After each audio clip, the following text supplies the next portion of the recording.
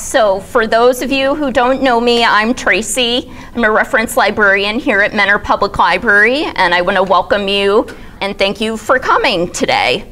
I'm also a graduate student at Indiana University's online history master's program. Today, we're going to learn about the Queen Consort Alexandra. She was the longest ever Princess of Wales. She was on as Princess of Wales for 38 years, and she was extremely popular. She often takes a back seat now with historians and royal enthusiasts, but she really was comparable to Princess Diana in a number of ways, um, including popularity. She is also Queen Elizabeth II's great grandmother. Alexandra was part of the Danish royal family, and she was not rich in royalty. Considered by royal standards, they were middle class. And she was born on December 1st, 1844, at Yellow Palace in Copenhagen. She was nicknamed Alex, and she was not expected to have such a high standing. In fact, her father was not expected to succeed the throne at all. He was eventually chosen to succeed his childless uncle. So her father eventually would be Christian IX. This change in the line of succession did not change their financial status. It was a very close family. So her father, as we just said, was Christian IX. He was chosen to become successor to the King of Denmark in 1852. He also led his country through the Second Schleswig War, and he was known as the father in law of Europe that was because his daughters made very good marriages. His wife was Louise of Hesse-Kassel, and she was actually more royal than he was, but she was a woman. So that could be part of the reason they chose her husband to, to succeed his uncle. They were part of the House of Glucksburg, that is the house of the Danish royal family still today. So Alexandra had five siblings. Uh, her brother would go on to be Frederick VIII of Denmark. The brother she was actually closest to was George I. His birth name was William, but he was chosen, just like his father, to be uh, king of Greece. And he actually was chosen because there was a vacancy on the throne. She was closest to her sister Dagmar, and Dagmar married into the Russian royal family, and she was rechristened and became Marie Feodorovna of Russia. Thyra uh, was the crown princess of Hanover in her latter days, and her youngest brother, Prince Valdemar, turned down the throne of Bulgaria. He ended up marrying a French woman and living in Paris. Alexandra was educated at home with her sister Marie. They actually shared a room and teachers. Alex learned to sew her own clothes, including socks. She learned foreign languages. She actually learned English, so when she joined the British royal family, it wasn't a struggle. She already knew the language. Her parents focused a lot on music and religion. She was confirmed at Christiansborg Palace in Copenhagen. They didn't focus so much on writing and math. In fact, her grammar is a mess. In her letters, there is little to no grammar or punctuation at all. The family knew Hans Christian Andersen, and he actually read them uh, stories when they were children. She was also a dancer and gymnast. She would entertain her guests with her gymnastics moves. So her first meeting with Albert Edward, known as Bertie to his family and the Prince of Wales, was at Speyer Cathedral in Germany. And they met on September 24th, 1861. They were actually set up by Albert Edwards sister Victoria. and he was originally there to observe the country's military. Alexandra was invited as well. Queen Victoria and Prince Albert originally were unsure of the Danish royal monarchy. They originally wanted a German princess, but nobody was found. There was no suitable German bride. So they started to look at the Danish royal family. They saw a picture of Alexandra. She was very pretty looking, and they decided to schedule a meeting. Well, the meeting went very well. They were not in love by any means. They had just met. But in those days, they, after a meeting went well, they started marriage negotiations. After the meeting, unfortunately, there was a scandal.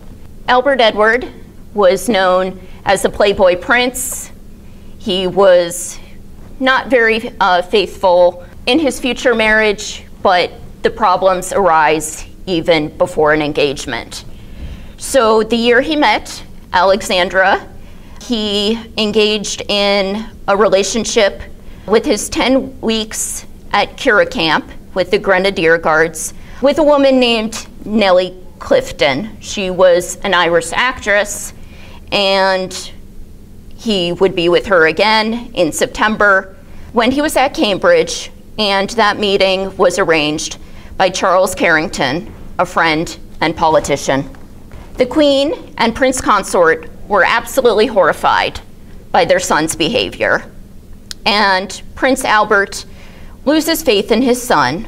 Um, eventually, he was a little more forgiving about it but he is uh, very upset about it, reasonably so. And he writes a letter to his son at Cambridge University saying, I am coming to see you. He did not explain why. And when he got there, they go on a walk and they talk about it and what this means to the family's reputation. And unfortunately, it's tragic that Prince Albert only lives a couple months afterward. He dies in December of that year, and Victoria is grief stricken. Her husband was only in his 40s, and she was devastated and blames Bertie, her son, for killing her husband, essentially. She said, Your dreadful business killed him. And it was believed to be typhoid at the time, and his affair with Nellie Clifton ended after that. So the Prince of Wales decides to do what um, his father would want him to do, and he proposes to Alexandra at Laeken Palace in Belgium at his great uncle Leopold I's palace on the 9th of September, 1862. Victoria does go to the palace. She meets Alexandra, and she's wearing black because she's still in mourning. It was not a love match, but they are accepting of these uh, the circumstances. Even after the engagement, immediately after Alexandra would go with Victoria to see what life would be like in the British royal family and what she would be responsible for. And Bertie was taken on a cruise of the Mediterranean with the crowned prince and princess of Prussia, his sister Vicky and her husband Fritz. So they really had no time together after the engagement to get to know each other. She arrived in England three days before the wedding.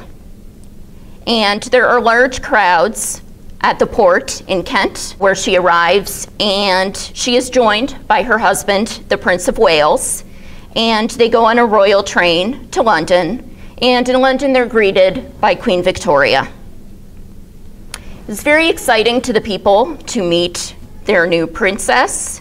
And Alfred Lord Tennyson composed a poem to memorialize the event. Sea King's daughter from over the sea, Alexandra, Saxon and Norman and Dane are we. But all of us Danes in our welcome of thee, Alexandra.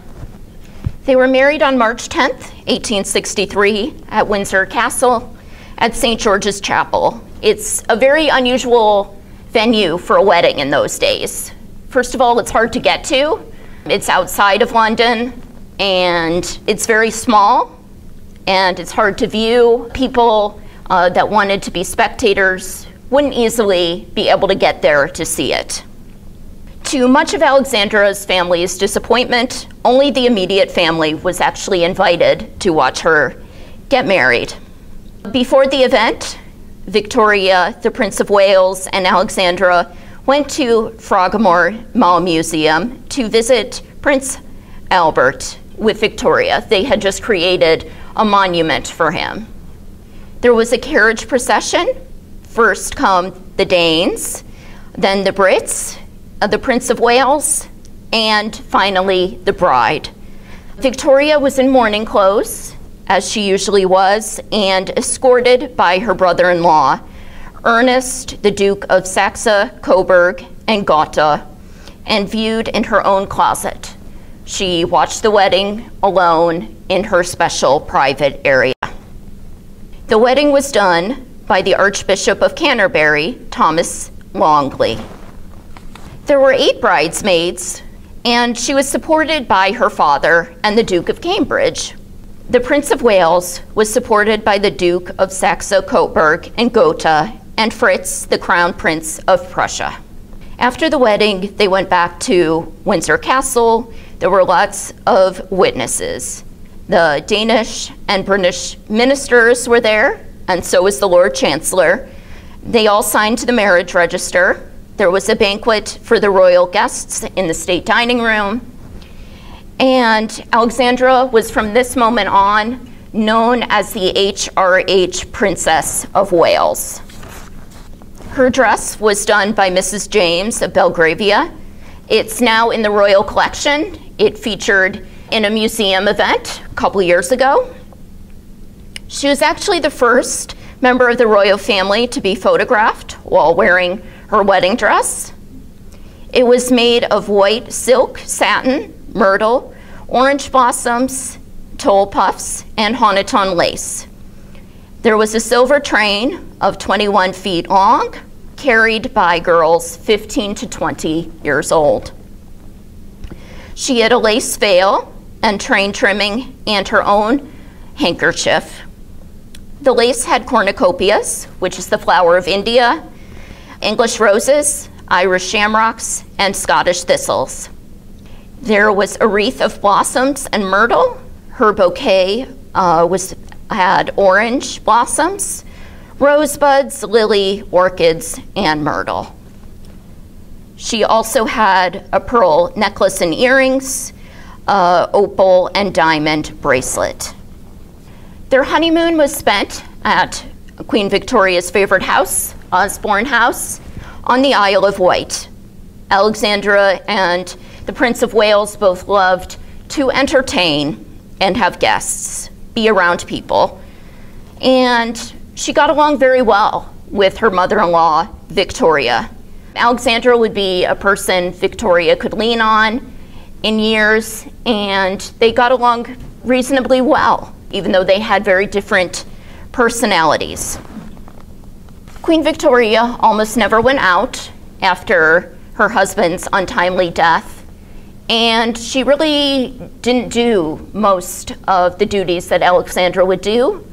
She was often holed up in the palace, and the people really craved attention from the monarchy. They wanted to get to know their monarch and Queen Victoria only went out to do ceremonial duties. So they were really looking for someone to bridge that gap.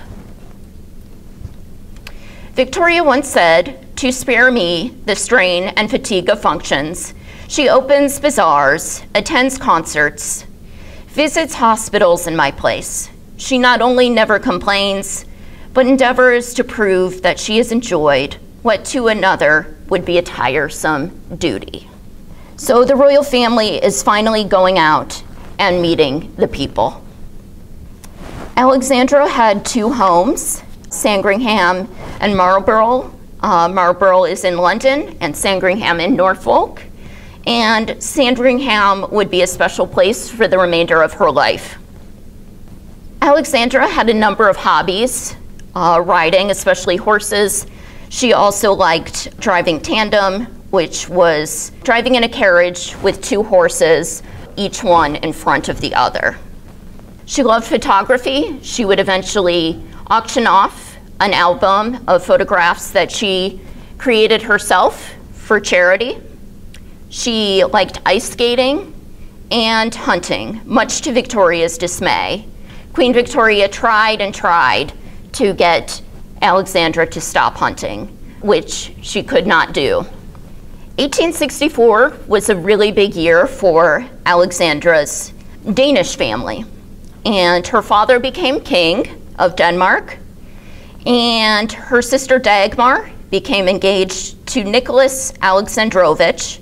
He was the heir to the throne of Russia. Her brother William became King George I of Greece, and she gave birth to her first child, Albert Victor, January 8, 1864. He was premature because Alexandra had gone ice skating and went into labor.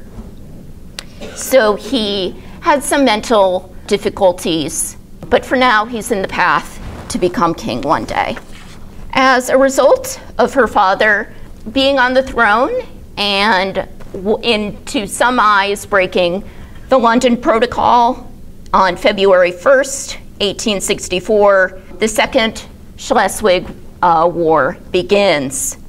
And so the German Confederation invaded Denmark, and they actually reduced it by two fifths. Alex and Albert Edward supported Denmark, of course, with her native homeland and Alex would never forgive the Prussian, uh, the Germans, and the Austrians for taking some of her land and causing her home country a lot of pain. Queen Victoria supported the Prussian side, as did the Crown Prince and Princess of Prussia. Their second son was born on June 3, 1865. Prince George destined for a career in the Royal Navy as the second son. He was close in age with Albert Victor, who is also known as Eddie to the family. His, their sister Louise was born on February 20th, 1867. She becomes the Princess Royal, as she is the oldest of the three girls. She is quiet and shy and described as withdrawn she becomes the Duchess of Fife by marrying Alexander Duff. He's the Earl of Fife, and they live in Scotland for most of their adult lives. So sadly, the labor and delivery with Louise is not as smooth as someone would want it. Alexandra gets diagnosed with rheumatic fever, and this would leave her with a permanent limp and it impaired her hearing, which she already inherited from her father, otosclerosis, which she would get progressively more deaf throughout her life. It took her four years to walk again without walking sticks, and she had inflammation in her knee. And uh, because she was so loved and so popular, masses began imitating her limp. So at parties, people would start limping to be like the Princess of Wales. And they also were inspired by her fashion.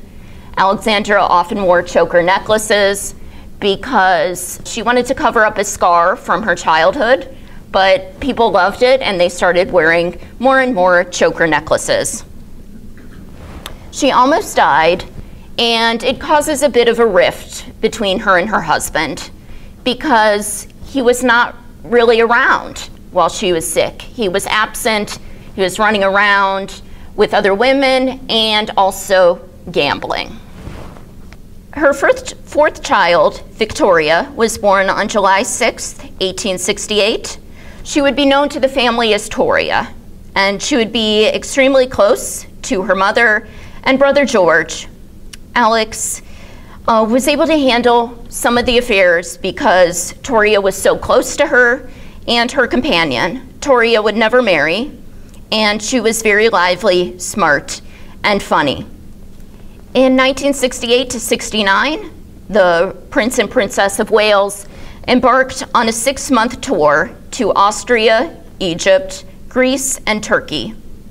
They saw the Crimean battlefields they met the Khedive Ismail of Egypt, and Alex was the first woman to have dinner with the Sultan Abdulaziz of Turkey, the Ottoman Empire at the time. She made several trips abroad throughout her life.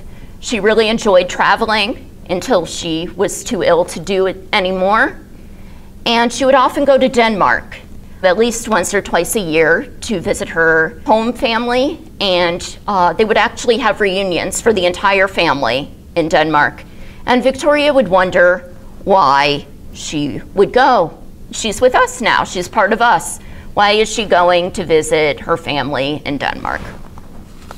Princess Maud was born on the 26th of November, 1869, and she was a bit of a tomboy. She was called Harry, after Henry Keppel, the hero of the Crimean War. She eventually married Prince Karl of Denmark, and when Norway got their independence from Sweden, they needed a monarch. And Prince Karl becomes Haakon. He and Maud become the king and queen of Norway in 1905. Tragically, their sixth and final child, Alexander John, only lived around a day. It was devastating for both of them. Alexandra never got over it, and she would remark that there's nothing really to remember him by. His life was so short that we don't have anything in our house that really is we're able to look at and remember him with. People were not really sympathetic to the couple, especially the newspapers. They had a private funeral, and he was buried on the Sandringham estate, away from the public. Over the years, the Prince of Wales, and when he was king, had many different scandals. And he had over upwards of 50 mistresses. The first scandal he was involved at was the Baccarat scandal. And that was when he was at a party, he was bored, he wanted to gamble. So he and his friends started Baccarat, a game that was illegal and a card game often played for money. And one of the players was convinced that another player was cheating and actually sued him in court. And Albert Edward was called as a witness. The Lady Mordaunt divorce case came out when Lady Mordaunt gave birth to a blind daughter. Well, her husband, Lord Mordaunt, said, That can't possibly be my child. So he assumed she had adultery, which she confessed to during the divorce case. She confessed to cheating with a couple of different men, and the Prince of Wales was named. Another time, Bertie had to appear in court as a witness, and Alexandra couldn't ignore these cases. Uh, Lord Randolph Churchill, his brother, the Marquess Blandford, eloped with Lady Aylesbury, obviously married to Lord Aylesbury, while her husband was on a boys' trip in India. The letters reached Lord Aylesbury, and he actually had to leave early. Well, the Prince of Wales was the one doing the trip, and he was absolutely furious. And Lord Randolph thought that, well, this is very ironic and hypocritical of you. You're the one having all the affairs, and you get mad at somebody else. So he threatened to publish letters between Lady Aylesbury and Bertie. And Albert Edward actually challenged Lord Randolph Churchill to a duel. He said no, but uh, Albert Edward personally, permanently lost the friendships, which was very upsetting to Lady Randolph Churchill. She really prized herself on having that connection with the royal family.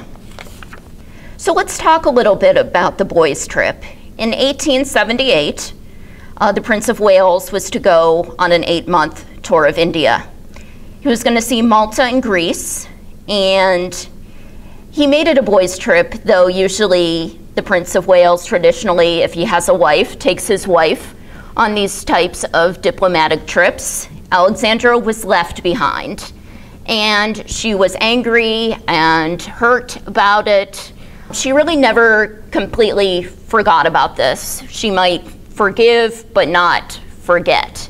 And the tour was a success he was said to have treated everyone of all social classes equally. The Prince of Wales soon after contracted typhoid fever, which, as they all thought at that point, uh, his father died of.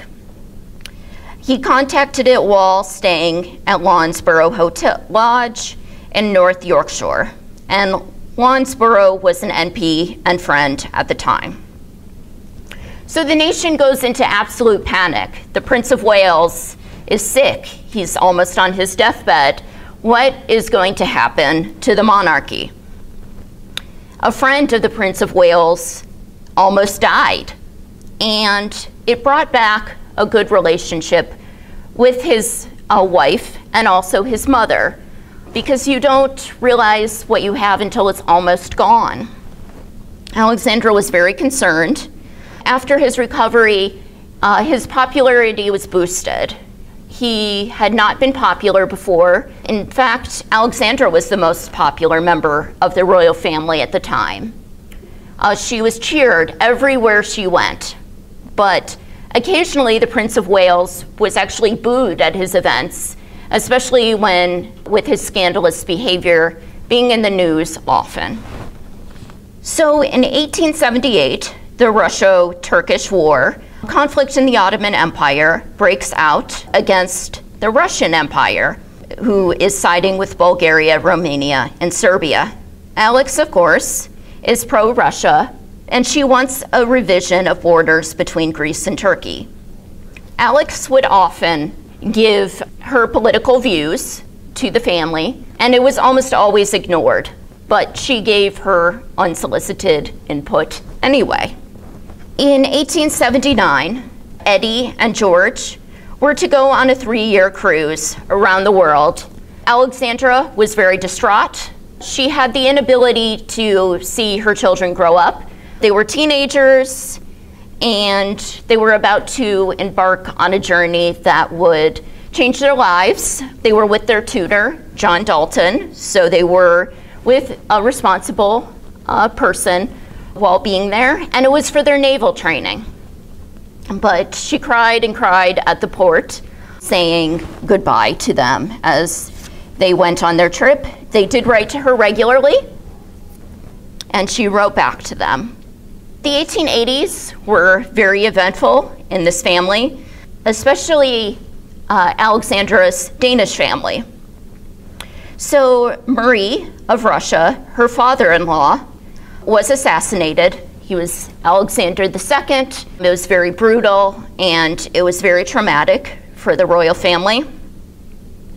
Marie and her husband Alexander. If you remember earlier, we talked about that she was engaged to a man named Nicholas. He tragically passed away, possibly of meningitis, years earlier.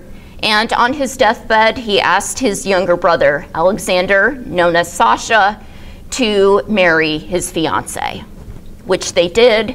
It was a very happy and successful marriage. So Marie and Alexander were coronated at the Assumption Cathedral in Moscow, and Alex and Edward were there. They came uh, for Alexander II's funeral and stayed for several weeks, including the coronation. The Kokoshnik tiara up there, Alexandra loved so much, she had one made for herself. Her brother George celebrated 25 years on the throne of Greece, and Alexandra was a guest at several events for his silver jubilee in Greece. She was at balls, parades, and a Thanksgiving service. Her youngest brother, Valdemar, married. He married Princess Marie d'Orleans in 1885 in Paris. Tragically, royal families aren't immune to pandemics.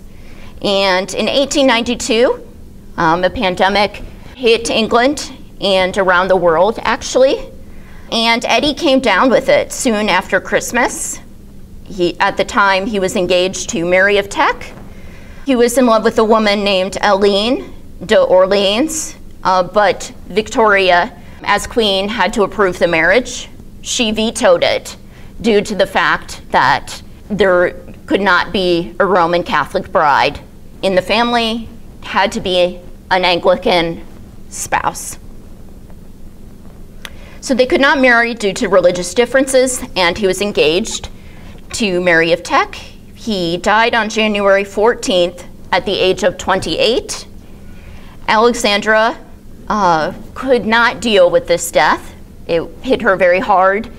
And she left his room as a shrine, and that room would stay a shrine for many years to come. His funeral was a week later. George and Mary became very close after the death of Eddie, and George proposed to Mary, nicknamed May, due to the month of her birth, in 1893 in his sister Louise's backyard garden, where they were both invited for tea. And they were married on the 6th of July, 1893. They were married in the Royal Chapel at St. James's Palace, and they lived at York Cottage, which suited them until it was too cramped when they had six children, and it was a small house on the Sandringham estate. It was a love match. George would never take a mistress. At the wedding, Mary wore a dress that had rose, shamrock, thistle, orange blossoms, and it was silk. It was the Art Nouveau style. She was the daughter of the Duke and Duchess of Teck, and Alexandra wore her Kokoshnik tiara to the wedding. She is pictured there with her mother and daughter Louise.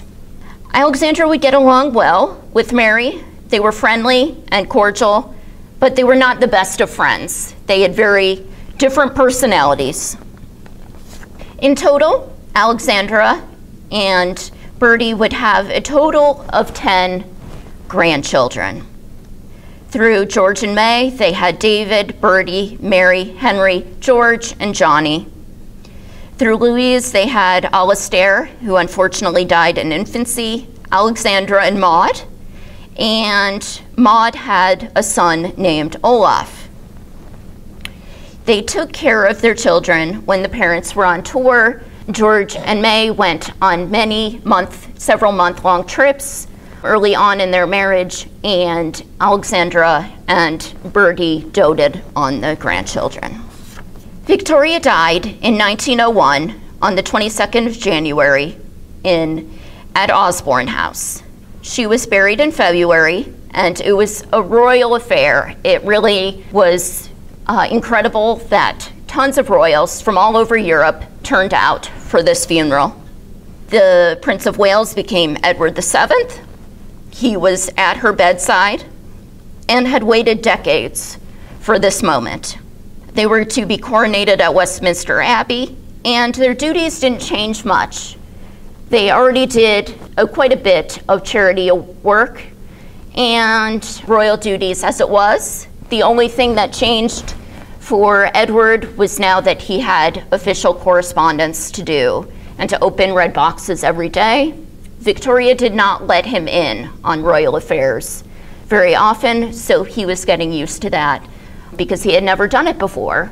And he kept Alexandra mainly out of official business. Alexandra kept most of her staff when she was Princess of Wales, and that included Charlotte Knollys, her Lady of the Bedchamber, who actually, early on in the reign, would save her from a bedroom fire at Sandringham. Unfortunately, the coronation had to be postponed. The king In early 1902, gets appendicitis, and to prevent panic, Alexandra goes to attend the Royal Ascot and military parades. The king had the operation at London Hospital, and on August 9th, they were crowned two months after the scheduled date. It was a carefully planned, keeping the empire in mind, and it was also religious.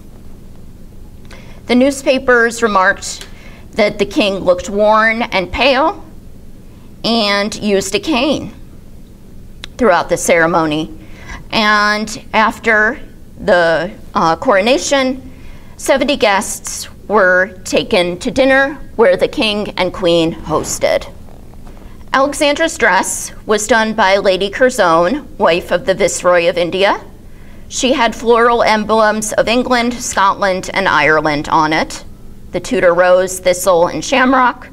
Her gown was made of gold net with metallic embroidery.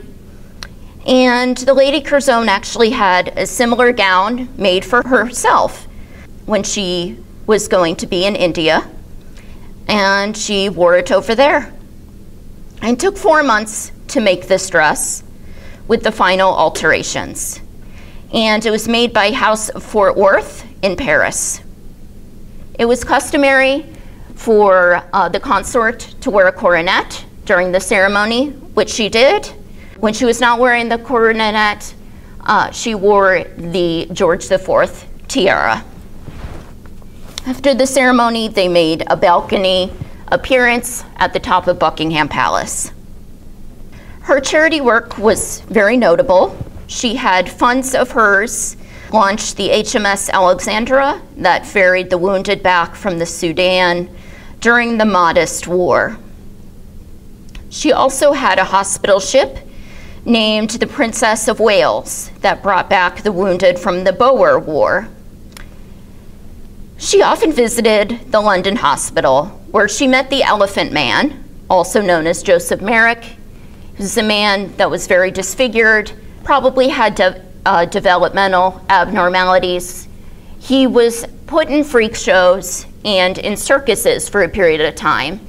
In Belgium, his circus abandoned him, and he was taken back to London, where he was put in the London hospital. Alexandra became very good friends with him, and she also founded the Imperial Military Nursing Service. And when she got the royal warrant, it became Queen Alexandra's Royal Army Nursing Corps, and it was founded with its own royal warrant. So it was all her personal charity. She would give money to anyone who needed it. Numerous people asked her for money for their various charities, and she would have a check in the mail the next day, whether no questions asked, she did not ask them what it was for or anything about it at all some family members and uh, royal courtiers were worried that because she didn't ask any questions, they may not be legitimate. Um, but every time someone asked her questions about what she was donating for or do donating to, she would raise her hand and just walk out of the room. It really was the changing of generations when she became queen. Her mother died in 1898 Victoria in 1901, and her father in 1905.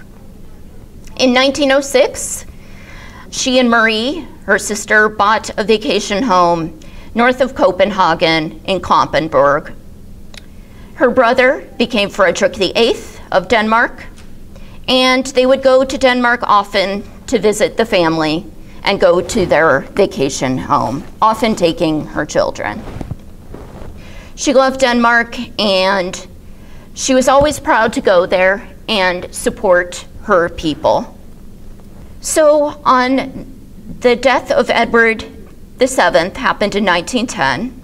She went to Corfu to visit her brother, George I, and when she got there, she found out her husband was seriously ill.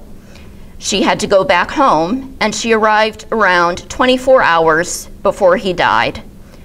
She personally administered oxygen in a glass cylinder for him.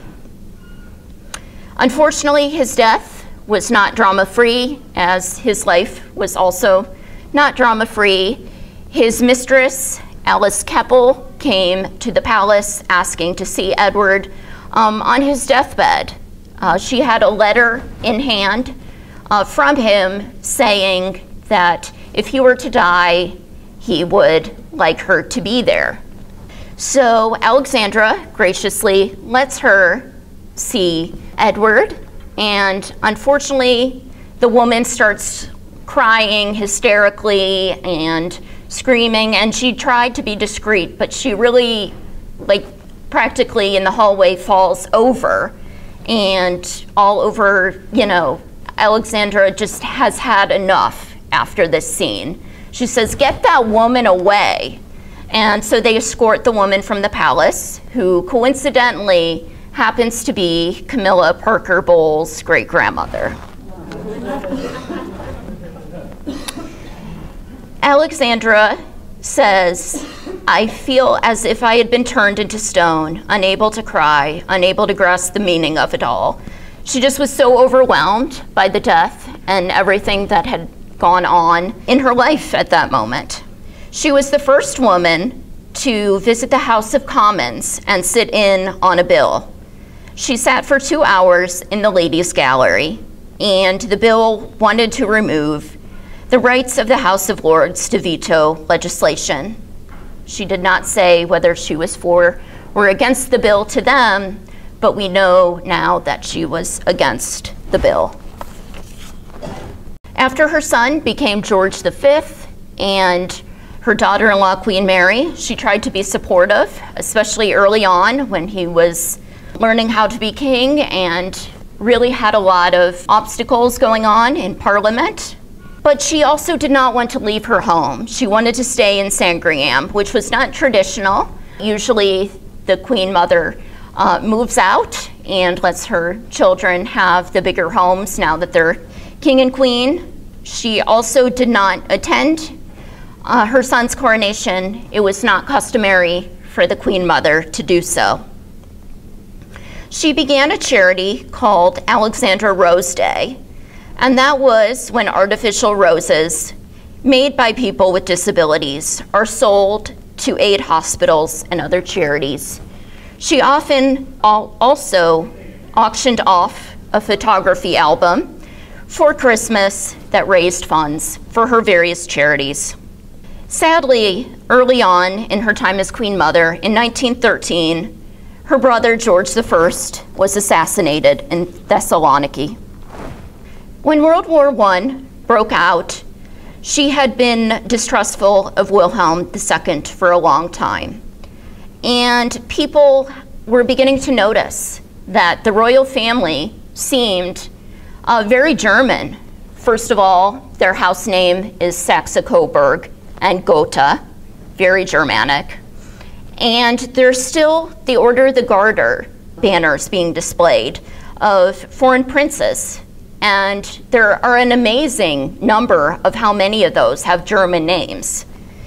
And people are saying, is our royal family really British or are they German? So Alexandra supported um, getting down the German banners. She told her son, Get down those dreadful banners. He got down all the banners. But my Hessian banners, she said, they're under orders he had to get down all of them. On the 17th of September, 1916, Sandringham endured a Zeppelin air raid.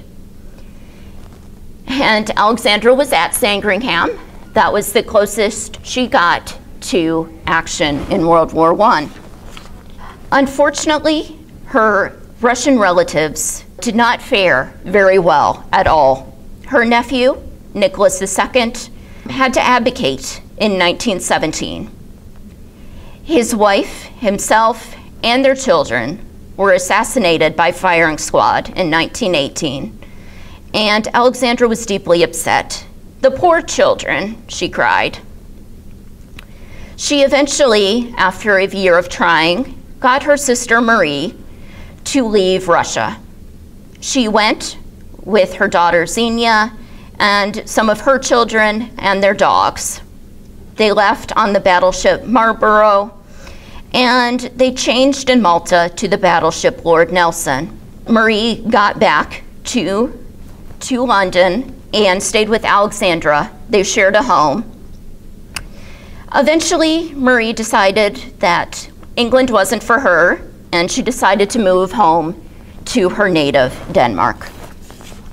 Tragically, Prince John, the youngest of George and May's children, Alexandra's young, one of her youngest grandchilds, passed away. And he was epileptic and possibly autistic. Alexandra visited him often. They were both on the Sandringham estate. Johnny was at Wood Farm and she was at the big house. Johnny had been out of the public eye for some time. Alexandra, because she felt that Johnny needed things to do, he had some local children to play with, but his life still needed some purpose. She had a garden that she made for him, and he was able to maintain it. Um, and he really enjoyed the garden. But unfortunately, he had a severe seizure in January of 1919, and he passed away with his nanny, Lalla Bill, at his side. In Alex's condolence letter to May, she said, Now our two darling Johnnies lie side by side. Alexandra looked youthful until about the First World War, and she was unable to travel after the war. So World War I really marked the end of her youth. Uh, she was deaf, and her blood vessels in her eye burst in 1920, leading to partial blindness. She wore heavy makeup and she had memory and speech issues. Her main joy was her dogs, especially the Pekingese. And Toria was also a joy to her. And but Toria had become more independent as she got older. So she spent the majority of her time with Charlotte Knollys at the big house in Sandringham, isolated. The day before her death, she suffered a seizure and died on the November the 20th, 1925 at Sandringham. She died around 11 a.m. Most of her family was by her side. The Prince of Wales and the Duke of York were late. Flags flew at half mast, shows, music, dances were canceled, and Stanley Baldwin, the Prime Minister, made a motion of condolence. The Marquess of Salisbury had a great quote about her that really summed up uh, what her personality was like. She had beauty and dignity. She had an exquisite manner and unfailing consideration. She had a winning friendliness for all whom she came in contact. In a word, her charm was irresistible to both those who knew her well and those who knew her the least. She lied for a few days at St. Mary Magdalene Church, and then she was moved to the Chapel Royal at the St. James Palace. There was a simple service, and her coffin was draped in her banner of arms. Several mourners followed the coffin in the procession, and many villagers joined in. In London, they had a procession from St. James's to Westminster Abbey. The route was lined by the military.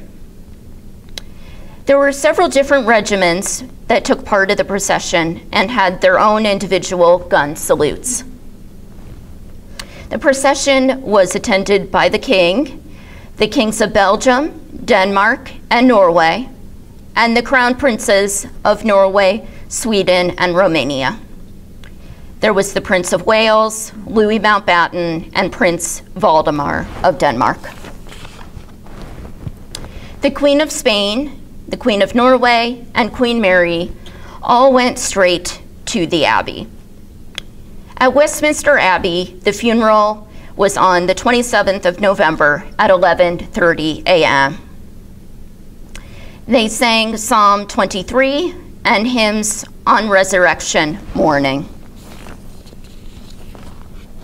The coffin was watched by the Honorable Corps of the Gentlemen at Arms and the Yeomen of the Guard.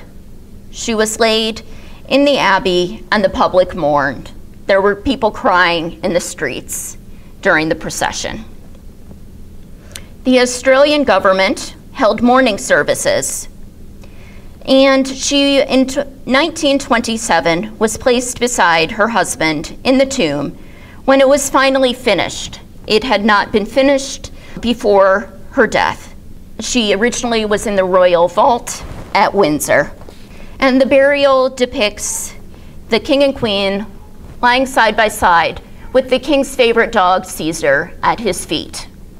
Her legacy includes many charities, uh, the royal family now interacting with the people on an almost daily basis. And she had two great granddaughters named after her, one being Elizabeth Alexandra Mary of York and the future Queen Elizabeth II, who was born only a couple months after her great grandmother's death. There was also the Princess Alexandra, the Honorable Lady Ogilvy, uh, who made a Buckingham Palace appearance um, on the balcony at Charles III's coronation. And we also have uh, pictures of the Norwegian and Danish royal families. Through her daughter Maud, the Norwegian royal family is still on the throne today. We have Harald V and his wife Sonja, Haakon and his wife Mette Marit. And we have a balcony picture of the Danish royal family at Amalienborg Palace in Copenhagen.